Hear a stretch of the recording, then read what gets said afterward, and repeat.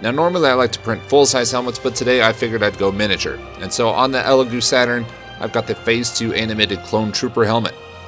The first thing we've got to do for this guy is clean off all the excess supports, and those you can just throw away.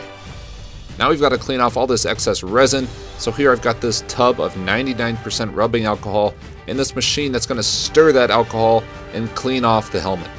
We're going to set a timer for about 10 minutes, and once that's finished, we're going to use this machine's alternate function and replace the tub with this little turntable that we can set the helmet on.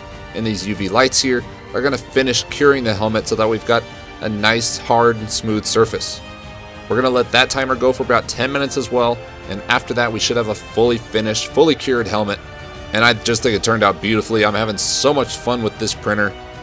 Be sure and check out galacticarmory.net for these 3D files, and be sure and follow for more 3D printing content.